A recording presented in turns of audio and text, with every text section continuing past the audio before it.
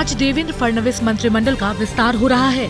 शिवसेना फडणवीस सरकार में शामिल हो रही है। फडणवीस की फौज में अब शिवसेना के सिपह सालार भी होंगे, जिन्हें आज पद और गोपनीयता की शपथ दिलाई जाएगी। विस्तार में 10 शिवसेना और 10 बीजेपी कोटे से मंत्री बनाए जाएँगे। चौतीस दिन पुरानी फडणवीस सरकार का ये पहला विस्तार है। इस वक्त सरकार में आठ कैबिनेट और दो राज्य मंत्री हैं। फडणवीस सरकार में शिवसेना के पाँच कैबिनेट और पाँच राज्य मंत्री बनाए जाएँगे। हालाँकि शिवसेना जिस डिप्टी सीएम पद के लिए अड़ी थी वो उसके हिस्से में नहीं आई।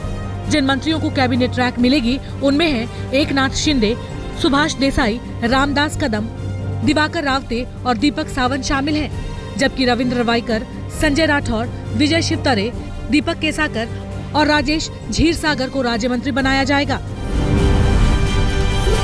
हमने चर्चा करके ये निर्णय किया कि महाराष्ट्र में भारतीय जनता पार्टी शिवसेना फिर गठबंधन से सरकार चलाएगी। हमारे और भी कुछ मित्र हैं, उनको भी उचित समय पर हम लोग इस गठबंधन में शामिल करना चाहते हैं। श्रीनगर में प्रधानमंत्री नरेंद्र मोदी की चुनौती रैली पर आतंकी हमले की आशंका है। मोदी की रैली के मद्देनजर घाटी हाई अलर्ट पर है। इस महीने की आठ तारीख को मोदी श्रीनगर में चुनाव सभा को संबोधित करेंगे। घाटी में सरकार बनाने के लिए बीजेपी ने पूरी ताकत झोंक दी है। खुद प्रधानमंत्री मोदी ने अब तक जम्मू कश्मीर में डोडा, किश्तवाड़ और उधमपुर में रैली कर चुके हैं। हालाँकि पिछले दिनों घाटी में हुई आतंकवादी वारदातों को देखते हुए श्रीनगर में मोदी की रैली पर भी खतरे की आशंका है। आज प्रधानमंत्री Narendra Modi, army chief general Dalbir Singh Suhag से मुलाकात करेंगे। सुहाग से प्रधानमंत्री देश की सरहद की सुरक्षा की खबर लेंगे। सुहाग मोदी को सरहद खासकर पाक से लगी सीमाओं के ताज़ा हालात बयां करेंगे। आज ही देश के नए रक्षा मंत्री मनोहर पर्रिकर लोकसभा में बोलेंगे। जालंधर के दिव्य ज्योति जागृति संस्थान नूरमहल के प्रमुख आशुतोष महाराज की समाधि या मौत के मामले में पंजाब और हरियाणा हाईकोर्ट में अपील दायर की गई है। ये अपील पंजाब और हरियाणा हाईकोर्ट के उस फैसले के खिलाफ दायर किया गया है, जिसमें कोर्ट ने आशुतोष महाराज को क्लिनिकल डेड मानते हुए पंद्रह दिनों के अंदर अंतिम संस्कार करने का आदेश दिया है। अब दिव्य ज्योति संस्थान हाईकोर्ट के इस फैसले के खिलाफ हाईकोर्ट के ही डबल बेंच में अपील दायर की है, जिसकी सुनवाई आज हो सकती है। पंजाब के गुरदासपुर में एक चिकित्सा शिविर में सात लोगों की आँखों की रोशनी चली गई। ये शिविर एक समाज सेवी संस्था ने आयोजित किया था। रोशनी खोने वालों में 16 लोग अमृतसर और बाकी गुरदासपुर के रहने वाले हैं। मामले के जाँच के लिए सिविल सर्जन को आदेश दे दिए गए हैं। मामले की रिपोर्ट सोमवार तक मांगी गई है। मोदी लहर रोकने के लिए दिल्ली में समाजवादी पार्टी के सुप्रीमो मुलायम सिंह यादव के घर, तीसरी ताकतों का लगा जमघट। इस बैठक में नीतीश कुमार, लालू प्रसाद यादव के अलावा शरद यादव जैसे नेताओं ने शिरकत की। बैठक का एजेंडा था एकजुट होकर मोदी शाह की जोड़ी को कड़ी टक्कर देना। बैठक में तीनों दलों को मिलाकर एक दल या एक महागठबंधन बनाने की संभावनाओं पर माथा पच्ची हुई। विलय की प्रक्रिया पर बातचीत के लिए मुलायम सिंह को अधिकृत किया गया है। इसी दिसंबर में मुलायम नीतीश लालू का महागठबंधन देशव्यापी प्रदर्शन करेगा। है हम लोग सांप्रदायिक ताकतों को दूर करने के लिए, मुकाबला करने के लिए जितने धर्मनिरपेक्ष दल हैं और लाइक माइंडेड हैं हम लोग और ख़ास करके जनता परिवार के लोग, दो दिन हम लोग बैठे। अपनी कथनी और करनी को लेकर विवादों में रहने वाले आम आदमी पार्टी के चेहरा और संयोजक अरविंद केजरीवाल फिर विवादों में घिर गए हैं। इस बार उन पर उंगली उठी है। बिज़नेस क्लास में हवाई यात्रा पर। दरअसल केजरीवाल अपनी पार्टी के लिए चंदा मांगने विदेश रवाना हुए हैं। आम आदमी के लिए सादगी, सच्चाई और ईमानदारी की दुहाई देने वाले केजरीवाल का बिज़नेस क्लास में सफ़र करना लोगों को खटक रहा है।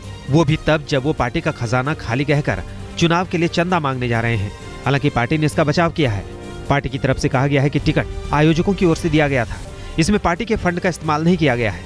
इसलिए इसमें कुछ भी गलत नहीं है। दिल्ली में सिंहासन की लड़ाई में बीजेपी ने अपनी पूरी ताकत झोंक दी है। बीजेपी की दिल्ली इकाई अब गृहिणियों को भी पार्टी से जोड़ेगी। पार्टी ने महिला सेल को इस काम में लगाया है। दिल्ली के सभी जिलों से कम से कम दस हज़ार गृहिणियों को सदस्य बनाने का लक्ष्य निर्धारित किया गया है। साथ ही पार्टी ने अल्पसंख्यक सेल को भी कम से कम एक लाख मुस्लिम सदस्य बनाने का जिम्मा सौंप दिया है। दिल्ली विधानसभा चुनाव नज़दीक आते ही भाजपा ने अपनी कमर कस ली है। जिसके चलते भाजपा ने पूर्वांचली वोट बैंक में सीधे सेंध लगाने के लिए बिहार के सांसद के साथ, इलाके की सांसद मीनाक्षी लेखी के साथ दिल्ली प्रदेश अध्यक्ष ने जनसभा कर भाजपा का जमकर गुणगान किया और आम आदमी पार्टी को भगोड़ा करार दिया। दिल्ली में भले ही चुनाव की तारीखों का ऐलान नहीं हुआ है, लेकिन बीजेपी प्रचार में कोई कोर कसर नहीं छोड़ना चाहती। राजौरी गार्डन में गुजरात से सांसद दीप सिंह राठौर ने रैली की और आम आदमी पार्टी के नेता अरविंद केजरीवाल पर जमकर हल्ला बोला। राठौर ने आरोप लगाया कि केजरीवाल ने दिल्ली से गद्दारी की है। पार्टी साथ ही साथ पूर्वांचली वोट बैंक को भी साधने में लगी है। बिहार के सांसदों के साथ मीनाक्षी लेखी ने प्रचार की कमान थाम रखी है। मालवीय नगर की रैली में दिल्ली इकाई के चीफ सतीश उपाध्याय ने बिहार के सांसदों के साथ जनता से वोट की अपील की। वहीं कस्तूरबा नगर की रैली में लोगों को निराश लौटना पड़ा, जब बीजेपी नेता मीनाक्षी लेखी नहीं पहुँच पाई। विधानसभा चुनाव के मद्देनजर बीजेपी के आला नेताओं का एक पैर जम्मू कश्मीर में है तो दूसरा झारखंड में। चुनाव प्रचार के लिए बीजेपी के मुखिया अमित शाह रांची के नज़दीक सिल्ली पहुँचे। आजसू प्रत्याशी सुदेश महतो इस सीट से चुनाव लड़ रहे हैं। इस मौके पर अमित शाह ने बीजेपी को पूर्ण बहुमत से विजयी बनाने की अपील की।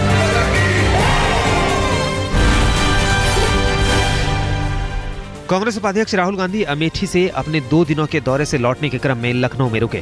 यहाँ राहुल ने इंदिरा गांधी आई हॉस्पिटल के एक जलसे में शिरकत की। राहुल ने अस्पताल में बेहतर सुविधा और इलाज के लिए यहाँ स्टाफ और कर्मचारियों की तारीफ़ की।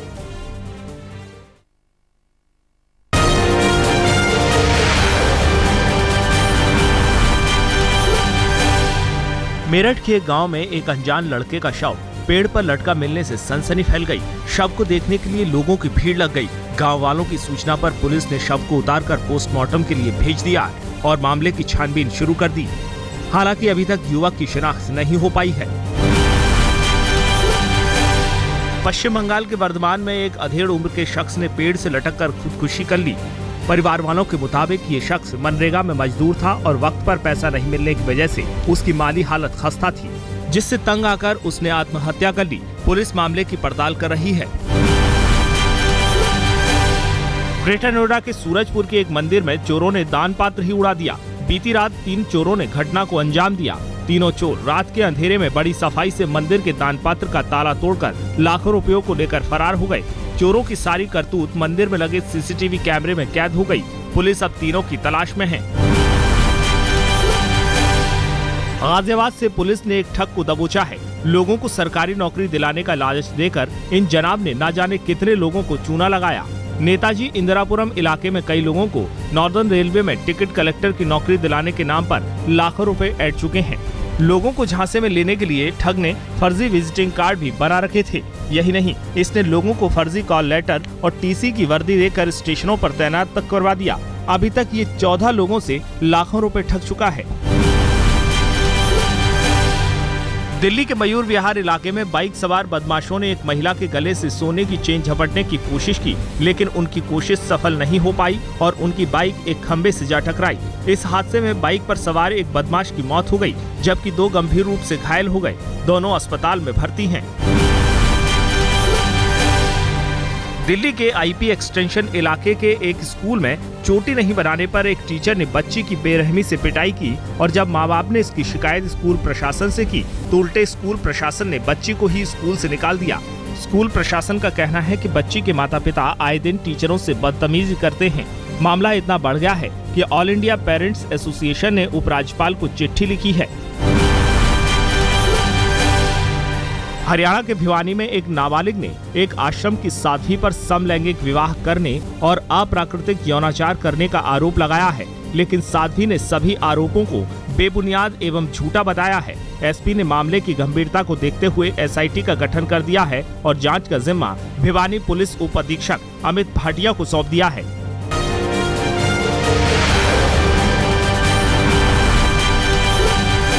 बाबरी मस्जिद के मुद्दई हाशिम अंसारी ने एक और नया ऐलान किया है। कि अब वो हिंदू संगठनों के साथ मिलकर मंदिर मस्जिद विवाद सुलझाने के लिए प्रधानमंत्री नरेंद्र मोदी से मुलाकात करेंगे? इससे पहले हाशिम अंसारी ने बाबरी मस्जिद मुकदमे की पैरवी न करने और रामलला को आज़ाद करने के अपने ऐलान पर खासी वाहवाही लूटी थी। हाशिम हनुमानगढ़ी के महंत और अखाड़ा परिषद के अध्यक्ष ज्ञानदास और अयोध्या के हिंदुओं के साथ मिलकर मंदिर मस्जिद विवाद को सुलझाने के लिए हर मुमकिन कोशिश करेंगे। मोदी से बात करूँगा बहन ज्ञानदास के साथ। मैं जिन, जो भी फैसला दूँगा, वो अच्छे ईमानदार हिंदुओं को साथ लेकर बात करूँगा। मैं चाहता हूँ राजनीति का अखाड़ा बंद होना चाहिए।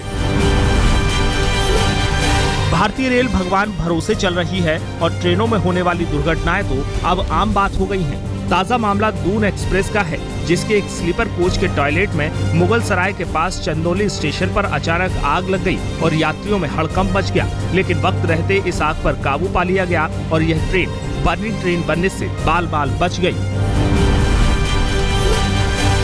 उत्तर प्रदेश के हाथरस में बीती शाम एक नमकीन बनाने की फैक्ट्री में भयंकर आग लग गई। आग उस वक्त लगी जब फैक्ट्री में काम बंद हो चुका था। मजदूर जा चुके थे। दमकल की आधा दर्जन गाड़ियों ने करीब डेढ़ घंटे की कड़ी मशक्कत के बाद आग पर काबू पाया। आशंका है कि आग बिजली के शॉर्ट सर्किट से लगी है।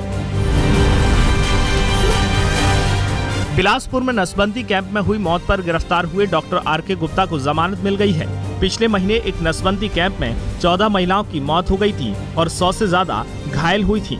इस सनसनी की इस घटना के बाद प्रशासन ने कार्रवाई करते हुए सर्जन डॉक्टर आर के गुप्ता को बर्खास्त कर दिया था। बाद में इस मामले में उनकी गिरफ्तारी भी हुई थी।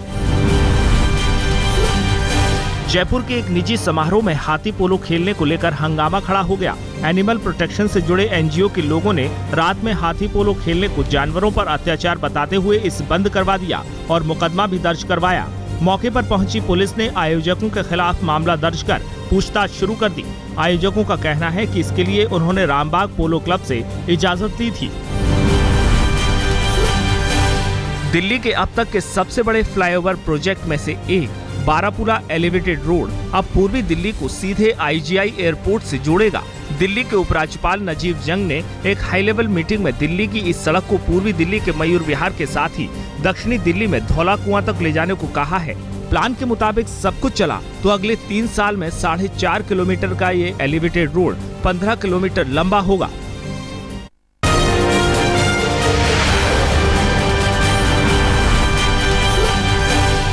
अगले साल 14 फरवरी से ऑस्ट्रेलिया न्यूजीलैंड में होने वाले विश्व कप के लिए माही की सेना का चुनाव हो गया है।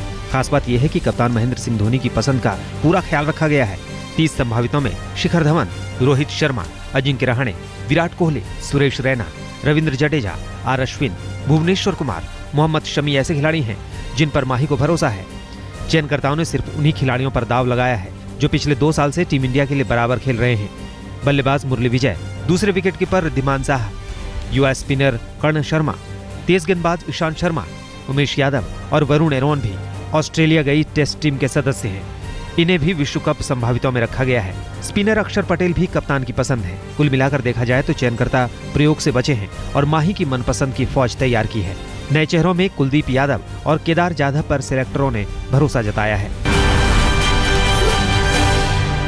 विश्व कप के 30 संभावितों में पुराने पाँच धुरंधरों में से किसी को जगह नहीं मिली है। ये हैं वीरेंद्र सहवाग, हरभजन सिंह, जहीर खान, गौतम गंभीर और युवराज सिंह। गौरतलब है कि यूवी पिछले विश्व कप के हीरो रहे थे।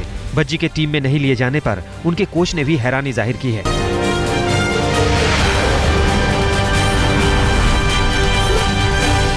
अमेरिका के दुश्मन नंबर एक अलकायदा ने अमेरिकी सरकार को रडार पर ले लिया है। अलकायदा ने नया वीडियो जारी कर धमकी दी है कि अगर सरकार उसकी मांगे पूरी नहीं करती है तो वो अमेरिकी बंधक को तीन दिन के अंदर मौत के घाट उतार देगा। आईएसआईएस से परेशान अमेरिका के लिए अलकायदा ने भी मुश्किलें बढ़ा दी हैं। लगभग तीन मिनट की इस वीडियो में 33 साल के बंधक ल्यूक सॉमर्स को किसी अनजान जगह पर आईएसआईएस बंधकों की ही तरह दिखाया गया है। ल्यूक एक अमेरिकी पत्रकार है, जिन्हें आतंकियों ने यमन की राजधानी सना से सितंबर 2013 में अगवा कर लिया था। दक्षिणी पोलैंड में एक दो साल का बच्चा माइनस सात डिग्री तापमान में बेहोशी की हालत में मिला। बच्चे के तन पर कपड़ा नाम मात्र का था। जमा देने वाले सर्द रात में बच्चे को ज़िंदा देखकर डॉक्टर भी हैरान है। शायद इसे ही कहा जाता है, जाको राखे साइया मार सके ना कोई। बच्चे का नाम एडम रखा गया है। अभी एडम कोराकाऊ अस्पताल में कोमा में है। साउथ अफ्रीका अपने नेता नेल्सन मंडेला को उनकी पुण्यतिथि पर याद कर रहा है। अपने मदीबा को पूरी श्रद्धांजलि अर्पित कर रहा है। जोहानिसबर्ग में हज़ारों समर्थकों ने मंडेला फाउंडेशन पर इकट्ठा होकर मदीबा के लिए अपने मन की बातें लिखी।